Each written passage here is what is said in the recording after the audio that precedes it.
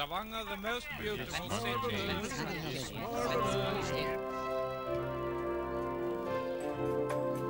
I Stavanger er det ganske grått overskyet og 16 grader, men det regner ikke.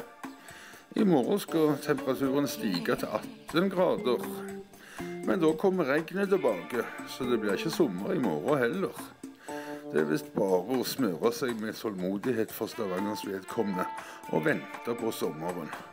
Det er så litt tragisk at en fra Stavanger som har vært her i Merida i flere uker, må tilbake igjen til regnværet i dag.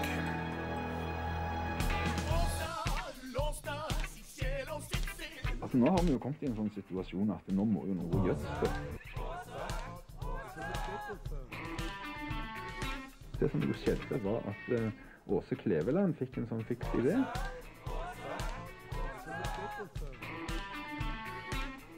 At nå skal det kun være én lokal-TV i hver region. Det er hedenskap.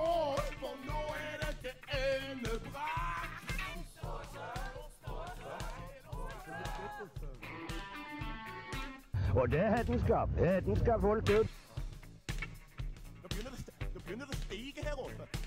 Det som fremgår denne kringkastingsloven, det er bøter eller fengsel inntil seks måneder for overtredelse av denne loven.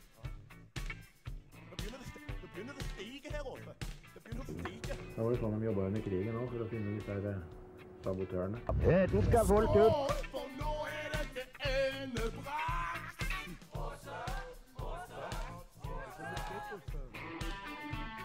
If you don't have any art, you're pretty much lost.